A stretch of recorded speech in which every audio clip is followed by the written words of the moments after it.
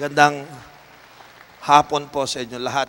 Welcome po tayo dito muli sa Dulos for Christ. Once more, lahat po ng ating mga first-timer, yung ating mga VIPs, yung ating pong Back to Church Sunday, isa pa pong pag-welcome sa kanila, palakpakan natin sila. We always say that dito po sa Dulos for Christ, we're not promoting religion. The only thing we promote is that every time you come here, as a person, we want you to have relationship with God. Yan po ang pinakamagandang may offer po na sa inyo. Magkaroon kayo ng personal na relasyon sa ating Panginoon. Pangalawa, isa lang po ang sikat dito at patuloy namin pinasisikat. Hindi po si Bishop Riel. Bagamat ako isang rock star, hindi po ako nagpapasikat. Ang pinapasikat po natin dito, walang iba kundi ang ating Panginoong Heso Kristo. Amen? Sa dulos, ang sikat si Kristo. Amen? We don't lift up any other name, not even my own name.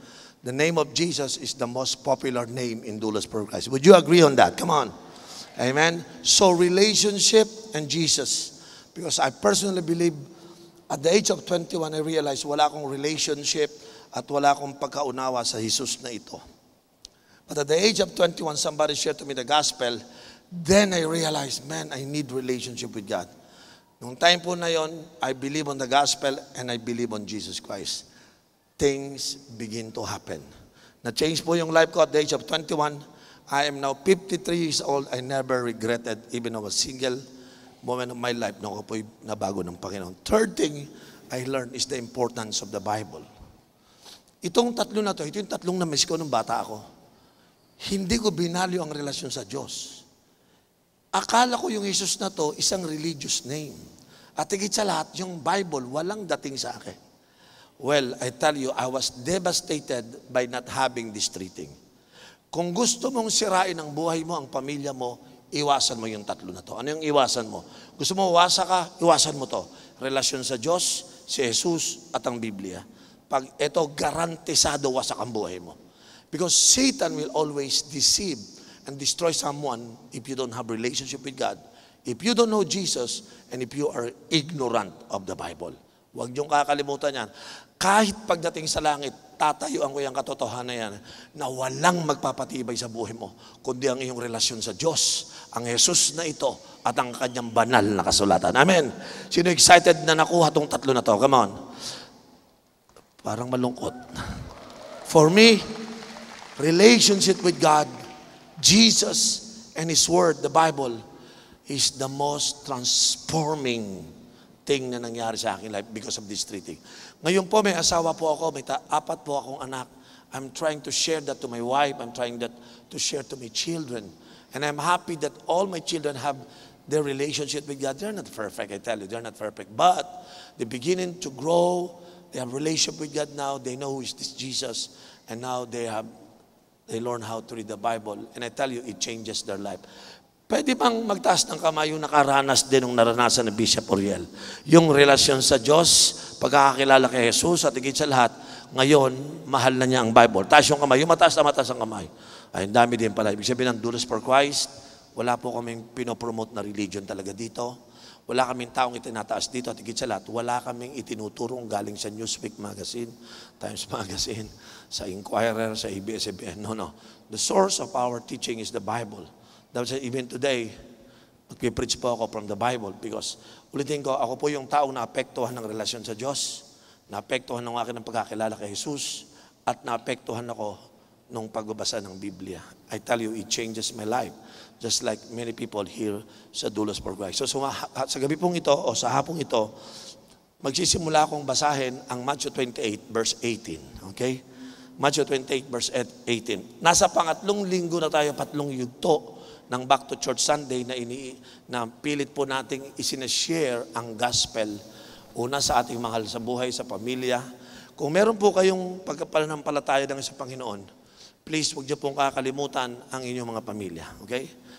Uh, I try na mag-create po ng Back to Church Sunday regularly, on a regular basis until makita ko po at prayer ko na ang mga pamilya ninyo masave, ang inyong mga kaopisina, mga classmate, mga kaibigan, lahat ng taong in contacts with you, we have to bring the gospel to them. Because according to Matthew chapter 28, pakilagay mga kapatid. Matthew 28,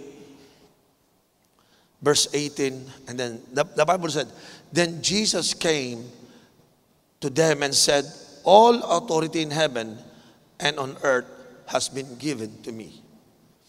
Yan pong verse na yan, pinapakita niyo po dyan kung sino si Jesus. Lahat ng authority ay nasa akin. Well, sinabi niya po yan after nang siya ay mag-resurrect from the dead. Imagine, Satan cannot hold him. Sin cannot hold him. Death cannot hold him. Sinabi niya, all authority was given to me. Hindi nanalo ang kasalanan, hindi nanalo ang kamatayan, hindi nanalo si Satanas. Eh, ito yung tatlong hudlob ng buhay natin eh. Pero to, tinumba to ng Panginoon because Jesus is more powerful than the power of Satan, the power of sin, and the power of death. That's why meron siyang key na sabihin ito that all authority in heaven and on earth has been given to me. When he rose from the dead, the resurrection power is upon him. Nakakita na ba kayo ng taong, taong bumangon sa buhay? Ah, mula sa patay, bumangon. Wala hong ganon. Unless you have the resurrection power. And then, after saying that I have all the authority, binanggit niya yung verse 19. Ang sabi naman po sa verse 19. Therefore, sino kausap niya dito? Yung kanyang mga disciples. Yung mga believers, yung mga first believers nung araw, meron siyang binanggit na habang nakatunga nga yung kanyang mga disciples, believe na believe sila because bumangon mula sa mga patay, again, pag sinabing bum- bumangon mula sa matay, sin can control him. Satan can control him. Even the power of death, the sting of death, cannot stop him. Believe na believe ngayon yung disciples. And then, siyempre, believe na believe, authority sa kanya. Eh, yung mga disciple, parang kahit anong sabihin mo, gagawin namin. So, ito ang gawin nyo, sabi niya. Kayo mga disciple ko, tinring ko kayo for three and a half years. Ito gawin nyo. Balik natin. Sabi niya, go. Say that word, go. Ha? So, ang kristyano po, talagang go-go tayo. Amen. Tama. Normal po yung nag-go-go tayo. Go and make what? Now, pasensya na kayo. Go is an action word. Hindi po sinabing wait and make disciple. Ano sinabi? Go. Church never go if we keep on waiting for people to come to church. We don't wait people to come to church. We, come on, I want to hear that. We, we go. Say that to your neighbor. We go. If you want to become part of this mission, I call it Jesus' mission, because you know Jesus' mission, He want to save the world.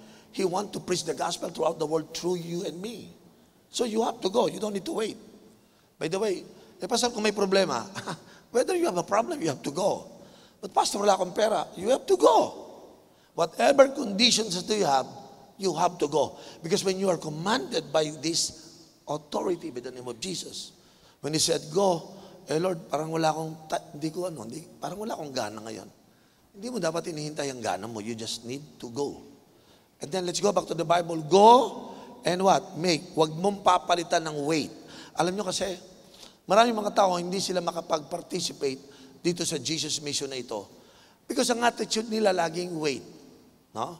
You know, pupuntahan ka ng primary leader mo o tayo, mag invite tayo, ah. Yung mag-invite mo, go yan eh.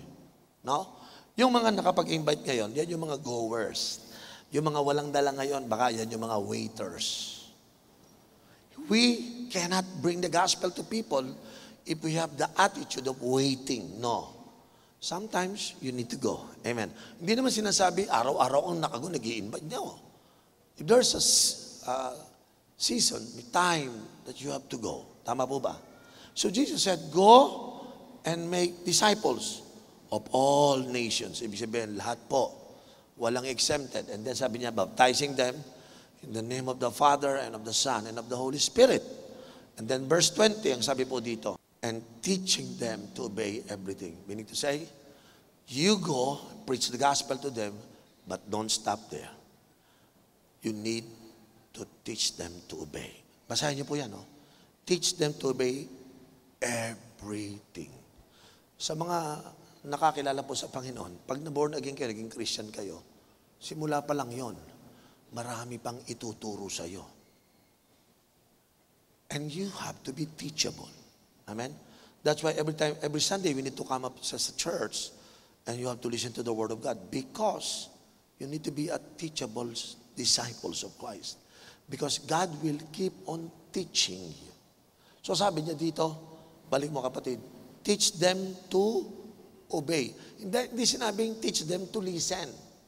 Obey. So when God said go, obey. When God, whatever things God will tell you to do, you have to obey.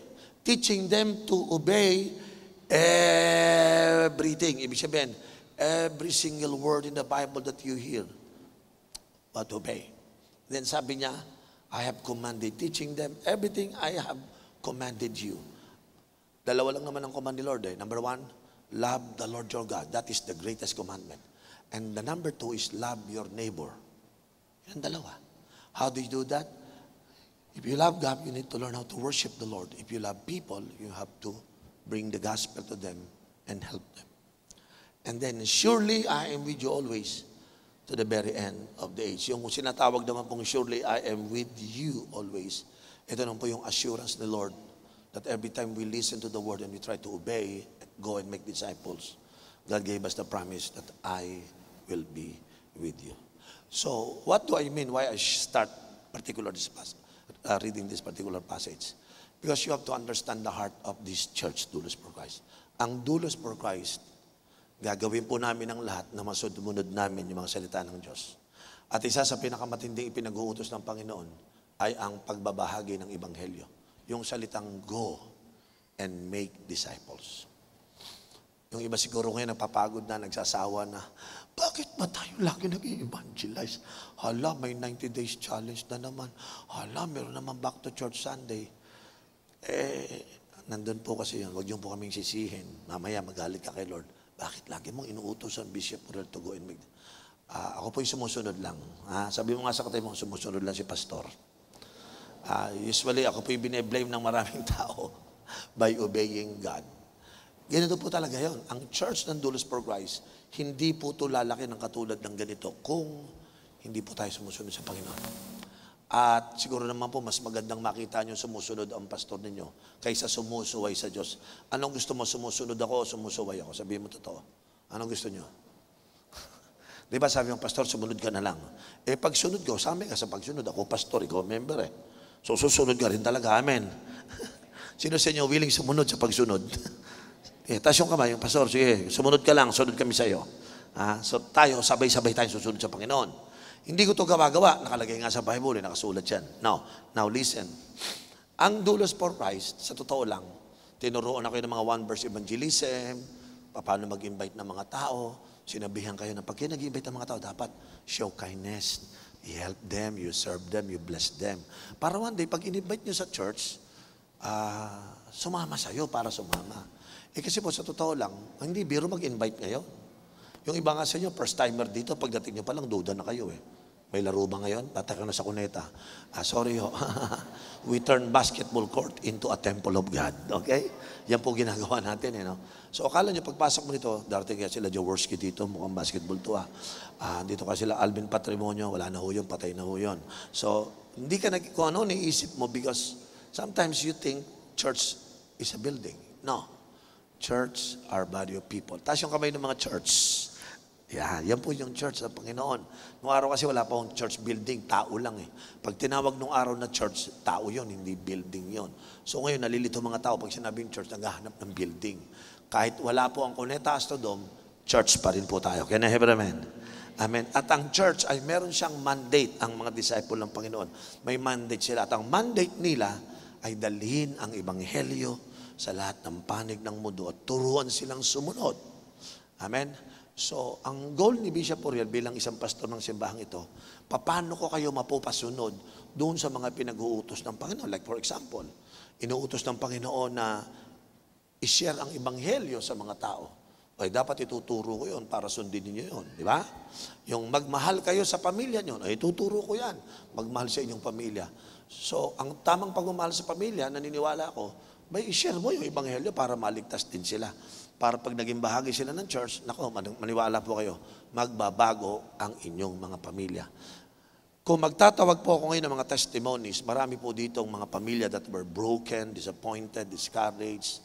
At higit sa lahat, sila po ay broken because for certain reason, alam nyo, pag tayo nasa buhay ng kasalanan, ang pamilya nagdasasuffer eh. May isang peraso dyan, addict, isa, lakwatsero, kung ano-ano. No? Kaya yung mga magulang, malungkot. That's why we have to bring the gospel to our families. Para ngayon, yung mga nagiging biktima ng kasalanan, nagbibiktima ng mga kamunduhan, ay makalaya, mabuksan ng mata, mabuksan ng puso't mga isipan. Para pag sila nabuksan, magkakaroon sila ng tinatawag na opportunity na makapag-start ulit ng mga bagong buhay. Isa po ako sa nakaranas po ng opportunity na makapagbago ng buhay. Dati po, lagi po akong on drugs, lagi po akong kasama sa fraternity, kasama po ako ng activism. Pero nung nakakilala po ako sa Panginoon, nagkaroon po ako ng chance na magkaroon ng isang new beginning sa life ko. And I grabbed that opportunity. I'm happy that someone shared to me the gospel who obeyed the Great Commission. And by obeying the Great Commission, ngayon po, ako po ay arkitekto by profession, pero nabago po ang profession ng buhay ko, naging pastor po ako because I, I love obeying the Lord. At sa loob po ng 28 taong pagpastor, hindi ko po pinagsisiyan ang pagiging pastor. Hanggang ngayon po ay pastor ako sapagkat na, na, nagpapasalamat ako na ako'y tinawag ng Panginoon ng pastor. Today, I'm still enjoying. Hindi na po ako arkitekto because arkitekto, you know, nagbibuild ka ng bahay, nagbibuild ka ng mga building. Yun ang trabaho ko eh. Pero mas masaya po pala yung nagbibuild ka ng mga wasak na buhay, no? mga wasak na pamilya. Ang ganda. Kahapon po, galing kami mag-asawa sa Pagadian sa Mindanao. Nagkaroon po kami ng marriage encounter.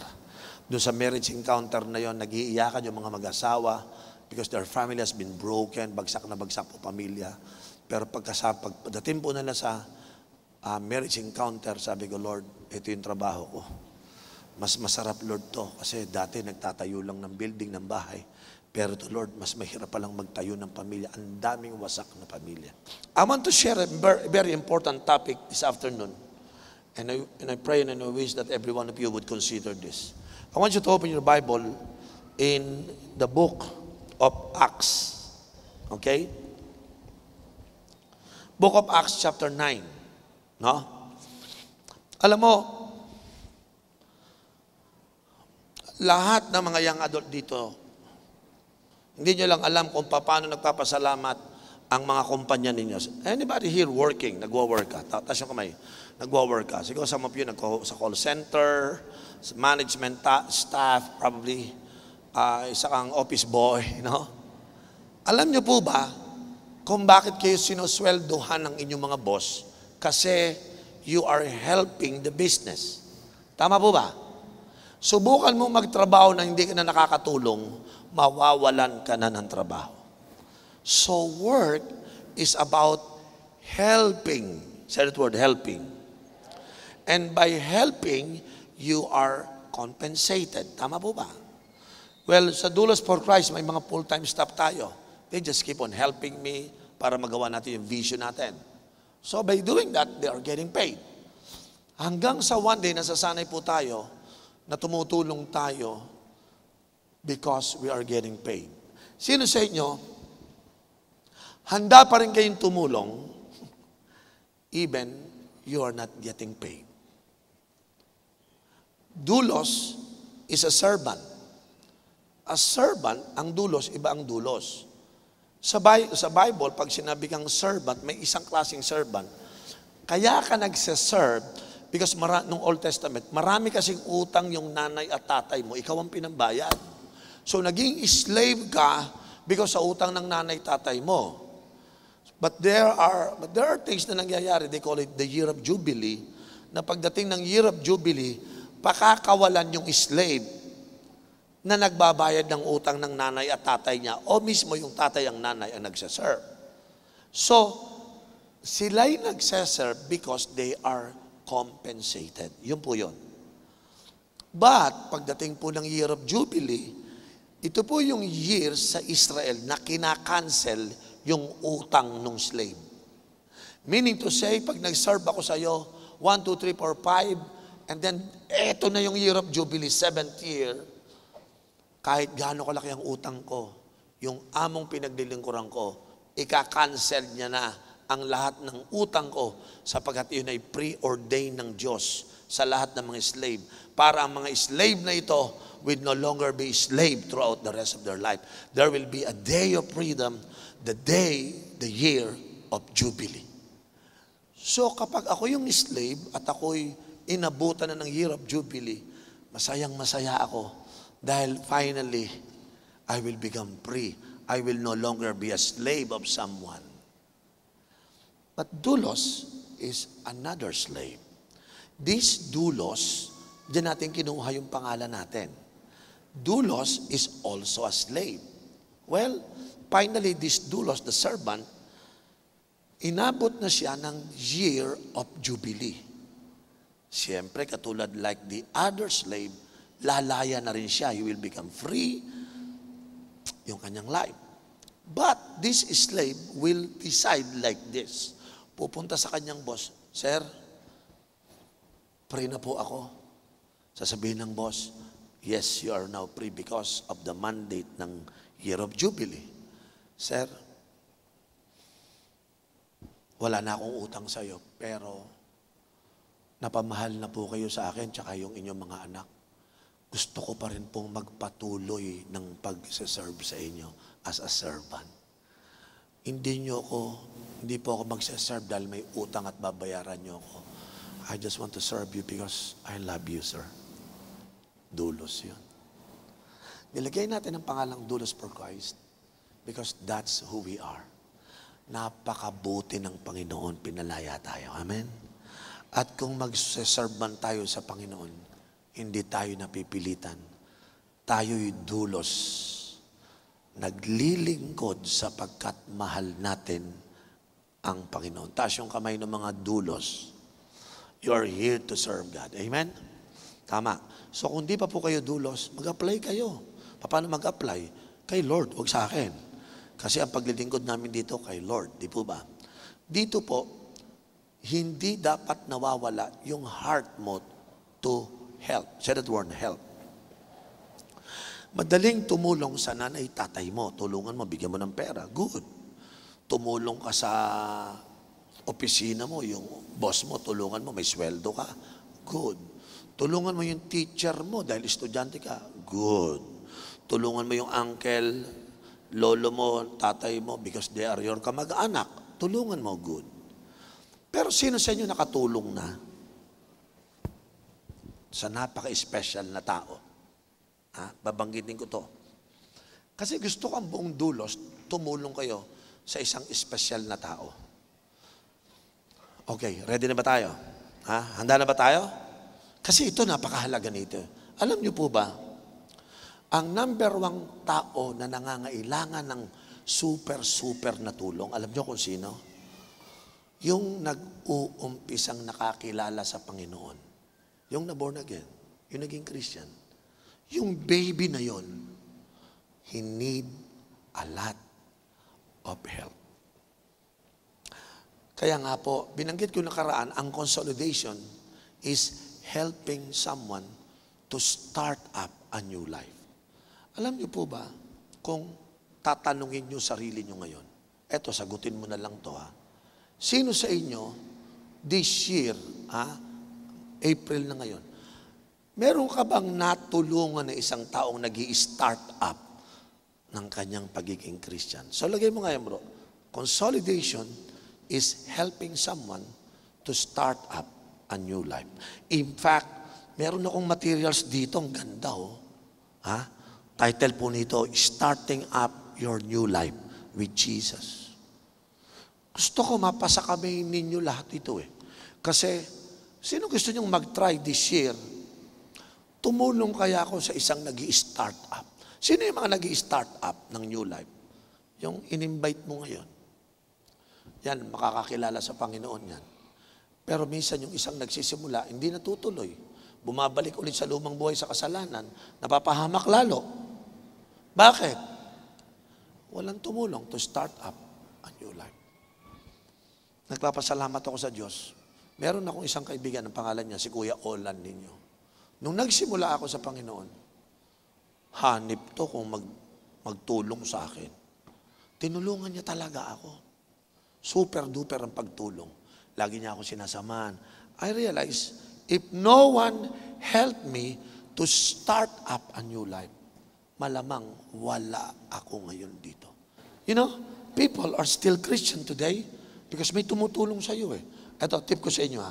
Subukan mo maging Kristiyano na walang tumutulong. Hindi ka matutuloy. That's why yung ministry of help, say that word, help. Pagyamanin natin sa dulos yan. Pasikatin natin yan. Tumulong tayo. Alam mo yung iba sa inyo matagal na sa dulos. Pero tanong mo sarili mo, meron ka na bang natulungan mag-start up ng life? Yung kaboborn again, yung nagiging Christian pa lang, tutulungan mo siya, Uy, alam mo, hindi religion to ha.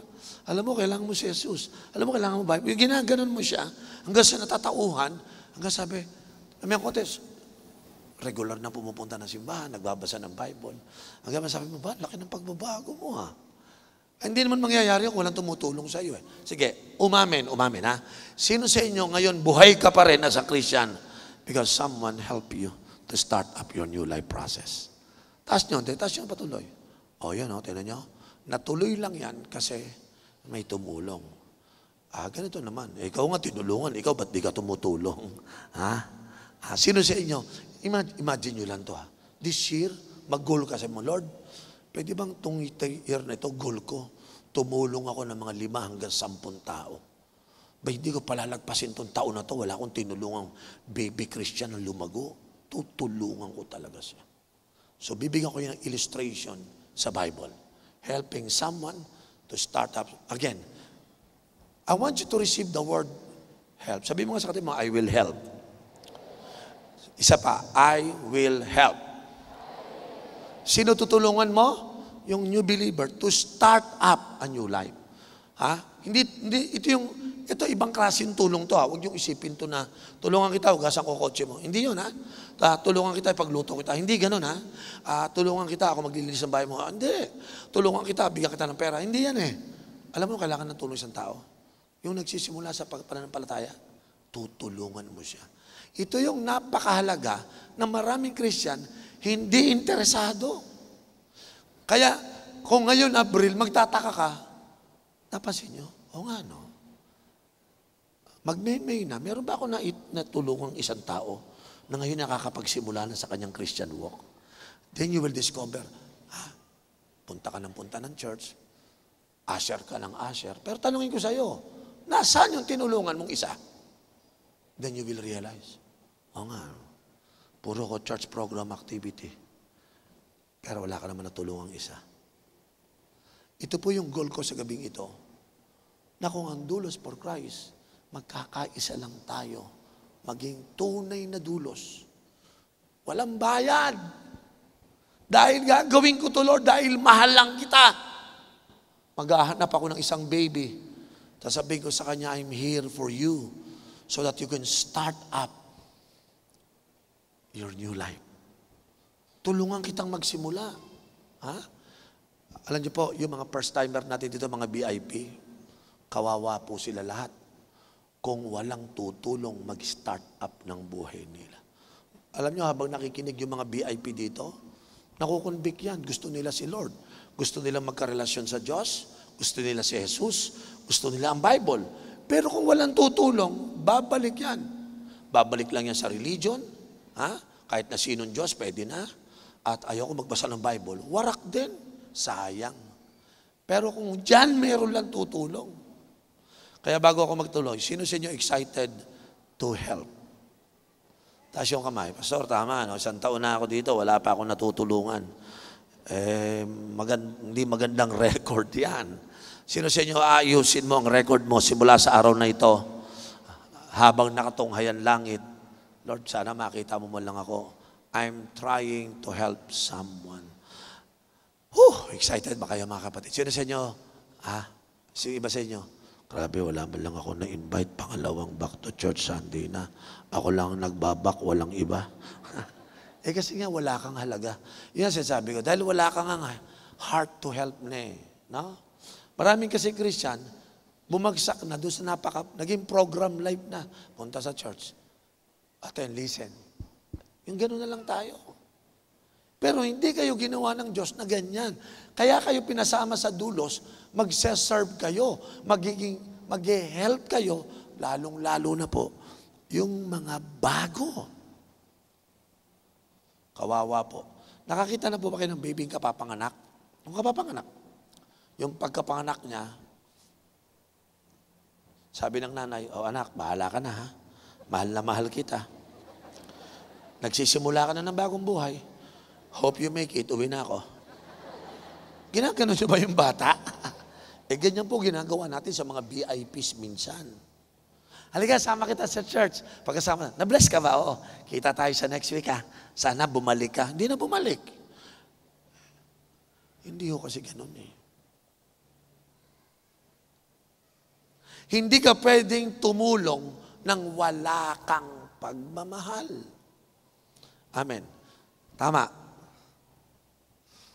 Kaya yung ibang simbahan, hindi lumalago. Kasi yung mga tao sa loob, hindi na tumutulong sa mga bagong mananampalataya. Eventually, we fail to grow the church because no one in the church are willing to help someone who are beginning to start up ng life nila. Alam niyo po, napakalaki ng concern dapat natin sa babies. May tanong ko sa inyo, pag tumutulong ka sa baby, sino nag adjust Ikaw o ang baby? Siyempre tayo. Lahat ng baby, tayo mag adjust Eh, ang problema sa atin, gusto natin, siya mag adjust sa atin. Nantok ako, magtimpla ka mag-isa ng gatas mo. Mata, marami akong, na, alam mo ba, tatlong araw na ako hindi natutulog, sobra ka na. Wah, wah, tumahimik ka. O, oh, ito, binigyan ng, binigyan mo ng earphone, ng earphone. O, oh, yan. Makinig ka ng sounds. O, dito na yung lata, ha? Yan, ha? Ito yung gatas mo. 8 scoop. O, ito yung water. Timpla ka. Dapat bata pa lang matrain ka na. Ha? eh, yan po ang ginagawa natin sa mga baby Christian, eh. Why we lost that helping spirit? Wala na ho eh. Kaya nakakalungkot po para yung mga tao ngayon, hirap na hirap sila. So, reading in the book of Acts chapter 9, okay, starting from verse 10, ito po yung experience ni Paul at ni Ananias. Si Paul siya yung bagong Christian. Si Paul kasi ito eh, no? si pa, Apostol Pab. Si Saul, na born again, naging Paul to. Pero tinan niyo yung background niya nung bago siya na born again. Silipin niyo kung paano siya tinulungan ni Ananias Ha? Para may matutunan tayo paano pagtulong sa mga tao. Tingnan niyo po ito, no? Verse 10 tayo. Now there was a certain disciple at Damascus named Ananias. The Lord called to him in a vision, Ananias. Yes, Lord, he answered. Verse 11. The Lord told him, Go to the house of Judas on Straight Street and ask for a man from Tarsus named Saul. Si Paul yun, si Paul yun, Saul na yun. For he is praying Verse 12. In a vision, he has seen a man named Ananias come and place in his hands on him to restore his sight. Nabulag kasi si Pablo nung naborn again siya. Nakasakay sa kabayo, boom, nabulag siya. And then verse 13, Lord Ananias answered, I have heard many report about this man. Sabi ni Ananias, Lord, yan bang Pablo na yan, Saul na yan? Naku, nadinig ko. Matindi ho yan, Lord all the harm he has done to your holy people in Jerusalem. And he has come here with authority from the chief priest to arrest all who call on your name. Verse 15. But the Lord said to Ananias, Go, this man is my chosen instrument to proclaim my name to the Gentiles and their kings and to the people of Israel. Verse 16. I will show him how much he must suffer for my name. Si Ananias, siya yung magiging helper. He, God called Ananias to help someone to start up a new life. At ang mag-start up ng new life, si Saul, that one day will become Paul. Gusto kong sabihin sa inyo, paano kung si Saul hindi kinausap ni Ananias? Wala tayong Apostle Paul ngayon. Di ba? Wala tayong ilang pirasong about 20 plus book of the New Testament. Walang Apostle Paul na sumulat noon. That's why I'm telling you, we need to help these new believers because you simply don't know kung sino yon. Alam, yung kaibigan ko po, si Brother Roland, pag nakikita po kami yan, lagi niya sinasabi, pare, ibang klase talaga si Lord. Kung hindi pala kita nasiran, baka ano kaya nangyari sa iyo? Pare, naging pastor ka na pala. Pare, nag, eh buti na lang, may nag-follow up sa akin. Kung hindi ako na-follow up, baka backslide ako. Baka hindi ako naging pastor. Wala ka din ngayon dito. Nadamay ka. But because of one simple act of kindness, tumulong, after 20 years, this Saul become Paul. Yung pagtulong nyo po, hindi nyo lang alam kung ano mangyayari sa tao na yun. Tingnan mo yung katabi mo. Siguro yung katabi mo yan, tinutulungan mo yan. Ha? Ano kaya mangyayari sa'yo, brother? No, mga after 10 years. Yung pala sila, siya pala yung magiging super duper na su- senador dito sa Pilipinas. Tapos disciple mo, katindi nun. Amen po ba? Ah, kasi tayo, kaya tayo walang gana kasi wala tayong vision. So, the first step, okay, I want you to listen to this. Pastor, bakit ako na tumutulong that someone could start up a new life? Kasi po, ang napansin ko kay Ananias, ang una niyang ginawa, Ananias believed on this new believer, Paul. Saul pala. You need to learn how to believe to this new believer. So pinuntahan siya ni Ananias. No? Remember, you don't know kung sino yung VIP mo ngayon. Yung pala pinaprocess na pala ng Panginoon yan. Magigi pa lang Saul yan. Eh ikaw naman hindi ka interesado. Ayaw mo siyang tulungan. Kasi You will never help anybody unless you believe on them. Amen. Well, Olan believes on me na ako ay Christian na ngayon. Naniniwala dapat tayo na may plano ang Panginoon eh. Yung mga first-timer po namin, kayo po yung narito not by accident, gusto ko pong banggitin. God has a great plan for you and I believe God want to save you. Amen? At pag kayo na save, mag start kayo ng isang bagong buhay I pray bigyan ka ng tao na isang kaibigan mo na tulungan ka and help you to start up a new life. So ang challenge kay Ananias, nagdadalawang isip siya dahil nagko-complain pa nga siya. Lord, sino yung ipapalo up ko? Lord, sino yung consolidate ko? Lord, sino yung I will help someone to start up a new life? Ay, di si Saul. Eh, Lord, natinig ko yung kilala ko yun ah. Si Saul baka ang oo. Taga mo na, Lord, may authority yan. Tinitira kami nung pinapapatay kami noon eh. Ibig sabihin niya, pumapatay. Na born again ngayon? Oo, naging Christian na siya. Ha? Pero Lord, pero, ang dami niyan, pero, pero, pero, pero. Tama? Hindi siya makapaniwala na yung taong na pumapatay sa mga Christian, ngayon, naging mananampalataya. Alam nyo, nung ako'y na born again, hindi sila man makapaniwala because I'm a drug addict. Ha? I'm an activist. I'm a fraternity gang leader. Ako presidente ng Taugama P. Ako ang presidente ng League of Filipino Student. Tapos ako, patay ako. Hindi sila makapaniwala. Si Oriel. Talaga. Ganun ang nangyari. Siya. Well, na-realize na lang nila after 15 to 20 years, ako ngayon pwede ngang magbago. So si Ananias, totoo, si Saul, siya. Alam mo ginawa ng Panginoon? Basahin niyo, verse 15. Balikan natin 15. But the Lord said to Ananias, Go, this man is my chosen instrument to proclaim my name to the Gentiles and their kings and to the people of Israel. And then verse 16, I will show him how much he must suffer for my name. So, sa kabila ng pagdududa ni Ananias, Lord, tinitira kami niyan na born again? Talaga? Hanggang sinabi ng Panginoon sa kanya, oh, pinili ko yan.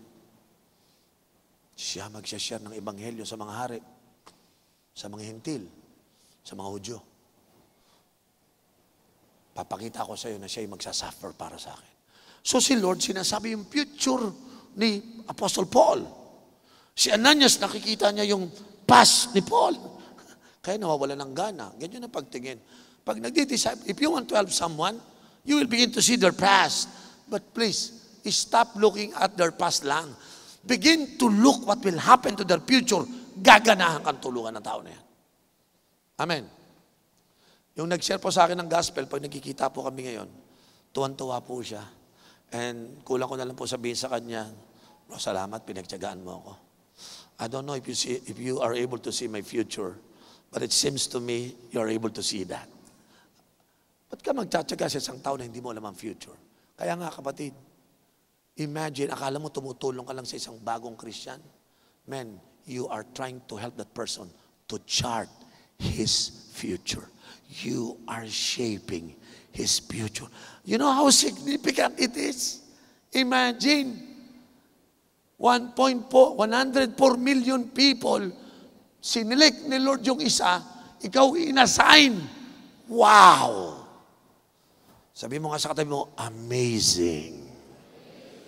Imagine mo, ang dami-daming tao pwedeng tumulang dyan, tapos sa'yo nakasign ngayon. Sino nararamdaman nyo this month of April as we do the Back to Church Sunday? God is assigning someone to you. Amen. Amen? He is assigning someone to you. Isa pong tao, kahit isa lang. But are you willing to help that someone find their way back to God? Are you willing to help that someone to start up their new life? Or are you willing to help that someone to put his life back into order until you see that someone engaging in Jesus' mission? Believe in them. Come on, say that word. Believe in them. Totoo po yan. Because sometimes, Ananias nagdududa kung totoo ba itong nag-change. You know, sometimes, well, hindi ano eh, no? Christian na ba talaga to? Hindi niya sigurado kung nag-change na to. But, God spoke to him. He need to believe that indeed, ito pong si Saul na magiging Apostle Paul na born again na po talaga. Nasubukan niyo na bang tumulong sa isang tao? Nung ako po ay, nako, kung inabot niyo po, na-born again po ako, yung kulay blue ang buhok, pang, yung mohawk, tapos naka-jacket na itim, puro kadena katawan, naka-red wing shoes ako nung araw. Yung pag naglalakad ako, lahat ng tao nakaganon sa akin. Oh. Because unique kami nung bata kami, mga, ewan ko ba't, sobrang kalokohan namin nung bata eh. Tapos, pagpasok ko sa, sa Bible study, na born again ako. E di, nung lumabas ako, hindi sila makapaniwala. Born again ba yan? Sumama ako sa prayer meeting nung gabi, 7.30. Sabi, saan ka pupunta? Binawalan ako. Saan punta? Uh, aaten. Anong aaten? Hindi pwede. Hindi ako pinapapasok. Sabi ko, ano ba to? Prayer meeting. Pre, pre, oh, atin ako ng prayer meeting. Tinitingnan yung itsura ko eh. Hindi, hindi dito yan. yung malalaking taga JIL, ang lalaki ng katawan, yung mga, man, mga kuya, yung mga porcher na ROTC, ganun. Hinaharangan ako. Eh, ang payat ko po nung ano ako eh, nung naborn again ako eh. Waistline ko, 27. Waistline pa lang yon. Pero muscle ko, laki. Ganun ako. Hindi ako pwedeng pumasok. Sabi ko, atin po ako ng ano, ng... Wala silang kaalam-alam. Kagagaling ko lang sa anim na Bible study. Bakit? Nagtatago ako, hinahunting ako ng mga gwardya. Kasi nung alas dos, may pinasabog yung mga kasamahan kong aktivista ng LFS. Labing apat na gwardya, napunta sa ospital. Ako ang presidente. Hinahunting ako. Wala ako yung ibang mapagtataguan kundi puro Bible study. Sapagkat pag umatin ako ng Bible study, hindi chine-check up ng gwardya.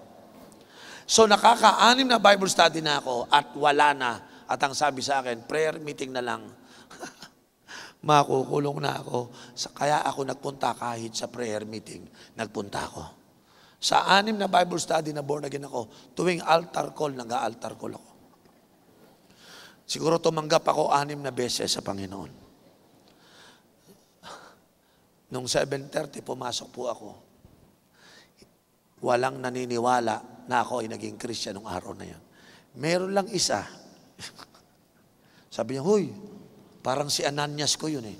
Hindi, nakatanggap na to kay Lord. Anim na beses pa yan. So, pinapasok ako, nadudang-duda sila, pinaupo ako. Dumating na po yung pinaka-presidente ng JIL Young People. Alam niyo po nangyari? Pag upo ko dun sa upuan, ang sabi ba naman niya, oh, welcome po tayo sa ating prayer gathering. Uh, before we pray, sino rito yung meron kang mabigat na problema na gusto mong ipanalangin? Mabigat na problema? Eh, nahanting ako ng gwardiya. eh. Sabi, ako, pag-pray niyo po ako. Pagtingin niya sa akin, ang unang tinignan, itsura ko. Bangil ako nakakita ang punk na nagpapapray. eh kulay blue yung buhok ko. Meron akong eyebrow na nakagano na mukha akong demonyo. Nung... Tapos sabihin, please pray for me. Imagine the weird. Hindi ko sila masisisi kung hindi sila maniwala na Christian ako. Nung nagtanong po ng prayer request, lumapit po yung kaibigan ko, sabi niya, Bro, may problema yan, ipag-pray natin. Ganito yan, ganito yan. Sabi nung, Brother, punta ka dito. Ba, dinala ako sa gitna. Sabi ko, yes, pagpe-pray na ako. Pagpe-pray ka namin. Nung nag-pray po ako, hindi ko malaman, lumuhod ako. Pag-pray niyo po ako, nakaganon ako. Nako, ito na, nag-pray na. Lapitan ng lahat ng kabataan. Nung nag-pray sila, ganito prayer nila. Rabashikata rabakashaka. Lahat nag-speaking in tongues. At maya-mayang konti, nadinig ko, may nagpatong sa ulo ko. Lahat ng masamang espiritu sa katawan ng taong ito, pinalalayas ka namin. Nagpe-pray ako, nakapikit ako, naku, may rami pala ako espiritu. I cast out all the demonic spirit from this person in, in Jesus' name. Naku, maniwala po kayo. Natakot ako dahil, biro mo to yung mga kasamahan ko, mga Christian, ang tingin nila sa akin, puspos ako ng demonyo. Kinakas out nila, nire-rebuke, nagtatang, salo-alo na didinig ko. Grabe, puro tangs, tapos rebuke ng rebuke. Wala akong nagawa kundi umiyak. Sabi ko, Panginoon, tama sila. Palayasin mo na lang, Lord, yung mga demonyo sa katawan. Well, to cut the story short, I was crying that night. Hanggang sa natapos ang prayer meeting, ako lang ang prayer items.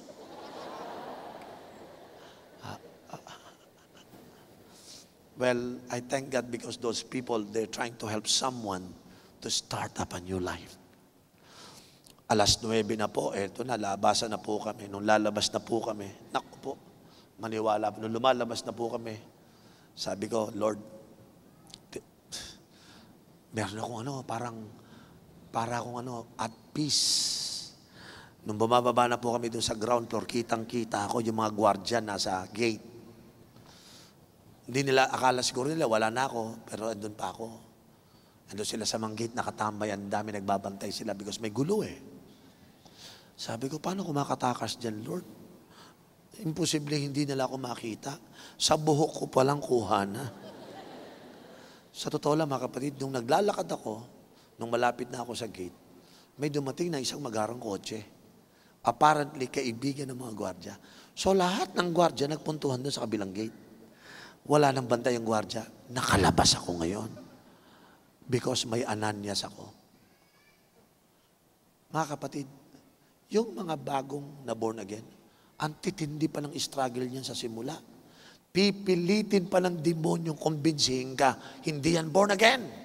Tingnan mo nga oh, sa itsura pa lang, hindi pa born again yan. But Ananias, Tingin niya si Paul. Ito yung pumatay kay Stephen. Ito yung, naku, may ano pa to, may mga warrant to, pares pa to ah. Nako, puntahan. Naku Lord, delikado ko dyan. Baka paglapit ko dyan, tirahin ako niyan. Nagdadalawang isip si Ananias. Pero kinausap siya ng Panginoon, puntahan mo. Kausapin mo. Naglakas loob siya. Sabi niya, Lord, nung tinignan niya na si Saul, naniwala siya na siya ay born again. Hindi mo matutulungan yung mga new believer kung ikaw mismo hindi ka naniniwala. Ah, tingnan mo yung katabi mo. Yung in-invite mo ngayon, oh, ano? Naniniwala ka ba na gusto niyang kay Jesus? Gusto niyang magkarelasyon sa Diyos? Gusto niyang maniwala sa Bible? Eh sa itsura, mukhang ayaw eh. Tama po ba? Tingnan mo itsura. Mga pastor, mukhang dito naniniwala. Sumama lang sa akin to kasi sinagot ko yung Jollibee. eh. Just kidding. Meron ba ditong pumunta for the first time and you really love? Sino rito yung first timer ka? Aminin amin yun to. Sino rito first timer ka and you want to have relationship with Jesus? Sige, taas yung kamay nyo. Pwede niyo ba palakpakan yung mga tao na yan? Pangalawa, sino rito yung first timer na ang gusto mo naman talaga si Jesus eh? Hindi yung kung sino-sino gusto mo. Mula sa puso, gustong gusto mo si Jesus. Taas mo yung kamay mo. Pastor, gusto ko si Jesus sa buhay ko. Taas. Yung first timer ka dito. O, palakpakan natin sila, di ba? Pangatlo, ha? Sino rito yung first timer ka? Bagamat matagal ka bang hindi nagbabasa ng Bible, pero deep inside, you know, the Bible is the Word of God, and you want the Bible. Hindi mo lang mabasa kasi wala kang tumutulong sa'yo. Pero kung may tutulong, babasahin ko talaga yan. If someone will help me to start up reading the Bible, if someone will help me to start up a relationship with God, if someone will help me to start up to know Jesus, I am willing to know that. Dami hong ganyan. Yung iba nga nakarating na ngayon, eh. pero sana naman po, tulungan nyo. Amen. Amen. Yung lahat po na may mga dalang first-timer, sino inaasahan nyo tutulong sa dinala mo? Sa next week, I encourage you, sino rito excited magdala ng mga bagong mananampalataya? Ha? Mag-invite kayo because goal natin to help someone to start up a new life. Please, yung mga na-invite nyo ngayon, most of them mukhang wala sa forma na sila gusto sa Diyos. Pero hindi mo kinakailangang makita kagad ang pagbabago sa Kanya. Paniwalaan mo muna na gusto niya ang rela- relationship, gusto niya si Jesus, at gusto niya si Bible. Yan, simulan mo na kagad. Why? Because that person need God. Amen. Pwede mo bang palakpakan yung mga first timer na dinala natin ngayon dito? Yung iba naman kasi, bago maniwala, yan, bago kita paniwala ang Christian ka na, dapat may dala kang Kleenex, nabasa lahat yung tissue, yung lumuha ka, tapos pabalik, napaluhod ka, yan, naniniwala akong Christian dyan. E paano kung di umiyak? Paano kung di nagpunta ng altar? It does, does it mean hindi sila naniwala? Usually, naku, dami ko bigo kwento sa inyo, madaming na born again. Nang, nagpipreach po ako, may mga anak ng pastor na born again. Pero ayaw mag-altar call. Kasi, naihiya siya doon sa mga taong nakakakilala sa kanya. Anak siya ng pastor, naging addict siya eh. So when I was preaching, this son of a pastor, instead of going to the altar, he goes out from the meeting. Then he go back to his room.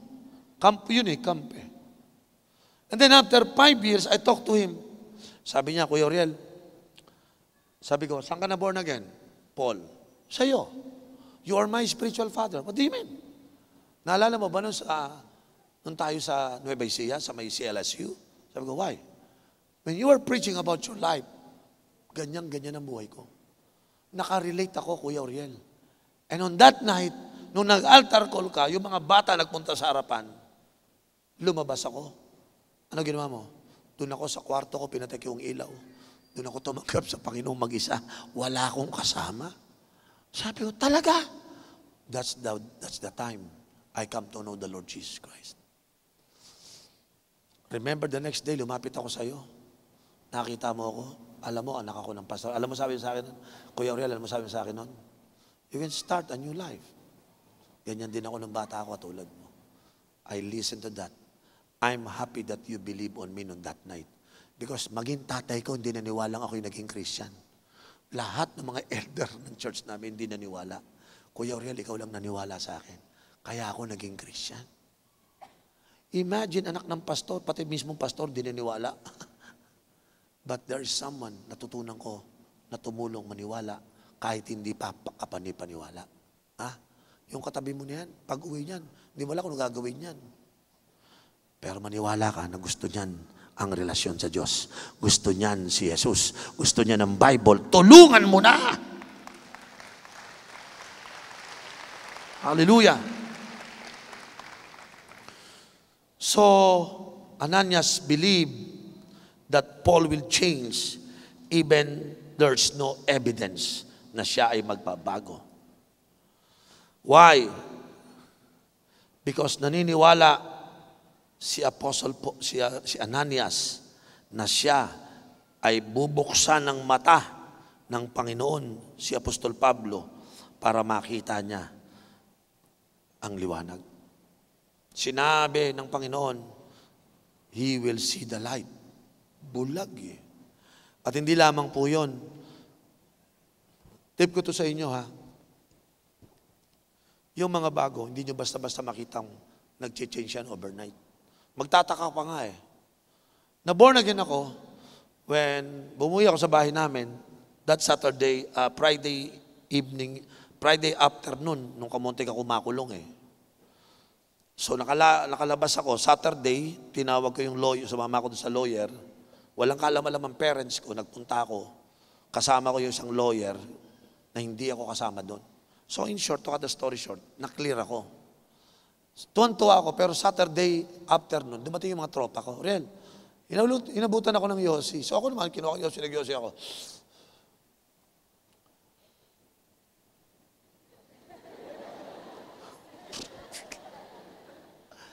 Naintindihan niyo ako? Ganun nangyari sa akin. Nagyoyosi ako, pero bilang ako yung Holy Spirit nag-speak sa akin. Ano ginagawa mo? O nga no, ba't ako nagyoyosi? Ba't kasama ko itong mga adik na to dito? Eh kasi nga bago pa lang ako eh. Yung tapong ko ng yosi, pff, uy, sabi sa akin ng barkado, oh, mo tinapon? Hindi ko naman, masabi born again ako, nahihiya ako. Ah, Ah, wala, naano ko yung boses. Ayoko. Eh! Di nakupo ako doon yung konti. Nagpapasana ng chonky. Pagpasa sa akin ng chonky. Bro, pas muna ako, pas, pas muna ako dyan. Hindi ako nakatagal para ako nasa impyerno, lumabas talaga ako. Nung umuwi ako sa bahay, na, pumasok ako sa kwarto, naiyak ako, sabi ko, Lord, sorry ah. Niligtas mo ako ngayon, nagawak ulit ako ng Yose, nagawak ulit ng Chong. Lord, sorry talaga. Yung pala, nung time na yon, natutunan ko, experience ko kasi. Minsan yung mga tao nagbabago. Nakita mo, nagyosi ulit. Akala mo gustong gusto niya magyosi? Hindi. Akala mo yung gustong gusto uminom ulit ang alak? Hindi. Eh, wala lang tumutulong. Buti na lang, yung kaibigan ko, dumating ulit sa bahay. Uri, tok, tok, tok, tok. Uriel! Siya, uy, alam niyo, nakita ko. Yung kagagaling ko. Eh, mga tropa ko na, mga snatcher, hold-upper, pusher. Yun ang mga barkada ko eh. Kung kaloko, kaya nga sabi ko mga kabataan dito, maluloko kayo. Wala kayong sinabi sa akin kung magkukwento ako. Yun lahat, maniwala, lahat. Kaya po, pare, kaya po. Sa Quiapo ako yun, sinasabi ko sa inyo. Hindi ako sa uh, Lorenzo Village, okay? Doon lang ako sa Quiapo, Village. Village. Yung gilid ng Quiapo, yun. Lahat ng kademonyoan, alam ko. Kaya nung napunagin ako, parang nandun pa rin ako sa impyerno. Alam niyo po, dito ko nakita, yung isa kong kaibigan nag-share sa akin, yun yung, siya yung helping someone, ha?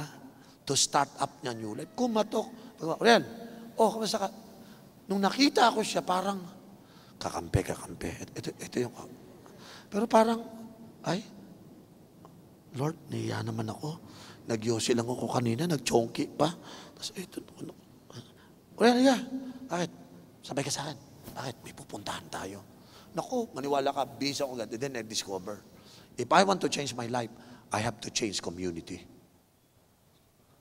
Sinama niya na ako sa community ng mga Christians. Nakita ko. Grabe, wala nagyoyosi. Paano kaya ito nabubuhay itong mga to? Tapos ang mabait nila. Tapos may mga dalang gitara. Sabi ko, Diyos ko po, mukha ako nasa langit nito. Hindi talaga ako sanay eh. Sanay ako doon sa demonyong atmosphere eh. Yung mga pag nakita-kita na puro, puro PI, nagmumurahan, yung ganon. Tapos yung mga nag-aayos ng mga panaksak, nag-ahasa ng mga pana.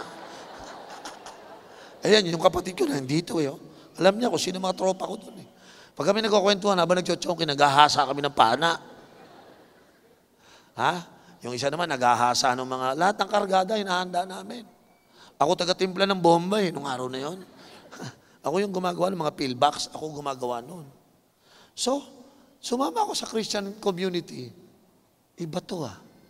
Pero naramdaman ko, sabi sa akin ng Panginoon, Oriel, this is now your new community. This is now your new community. Eh, nung araw po, may banda kami noon, nagra-rock and roll kami noon eh. Pang kami noon eh. Grabe, pinahawak sa aking gitara. Paghawak kasi, wala marunong mag-gitara marunong. Ito, meron naman tayong lyrics, may chords. Ikaw nga mag-gitara. Sige, sige, sige. Jang, jang. Alive, alive, alive forevermore. My Jesus is alive forevermore. Next, next, next. I will enter His gates with thanksgiving in my heart. Diyos ko po, ano kinakanta ko? Sige, ano ba nangyayari sa akin itong pinagagagawa ko?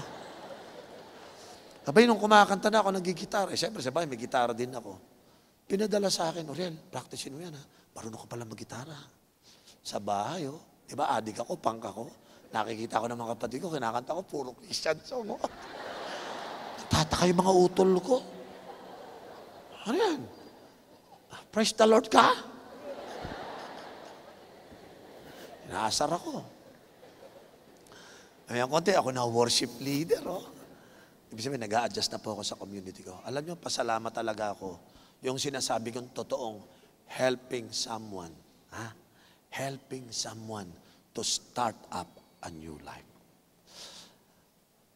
Apparently, yung lahat, di ba, 28 years na akong Christian. You know what I discover? My wife, natatawa kami dalawa. Hoy, alam mo si Joe? Sino yung Joe? Yung architect Joe. Yung ma-chicks nung, oh, di ba na born again? Oh, grabe. Magpapastor na rin ngayon. Alam niyo, totoo yung kasabay ko lahat ng na-born again ko. Lahat. Almost 90% naging pastor. Sabi mo sa kanila, mag-iingat ka. Baka mamaya maging pastor ka na din, ha? Sabi mo. Sabi mo nga sa kanila mo, gusto ko yan. Sino excited dito na ikaw gagamitin man of God ng Panginoon, ha? Hallelujah. Please help that someone. Do everything you can. You just don't know what will happen on that person. Sino po may natutunan sa gabi pong ito? Yung mga katabi nyo, hindi pa ho finished product yan. Ha? Sabi mo sa katabi mo, I am under construction. so, be patient with me. Amen? Pwede bang palakpakan natin yung mga pwedeng mangyari sa katabi ninyo? Now, bago ako, mag, bago ako magwakas, sino sa inyo sa hapong ito naniniwala na kaya mong tumulong? Yung, Pastor, kaya kong tumulong. Ha? Sino yung tutulungan mo? Okay, wag yung boss mo, ha? wag yung mga hugas kotse. Ang tulungan mo, yung bagong mananampalataya. One day, makikita nyo yung mga, yung mga ganyan tinulungan nyo. Ha?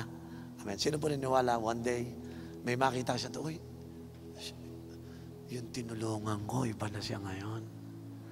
Sino gusto niyo makaranas ng gano'n? Ha? Alam niyo, ang pangit yung tumanda ka na sa pagiging Christian. Wala kang bakas. Wala kang marka na natulungan na tao. Why? Because once upon a time, you never even considered to help someone start up their new life.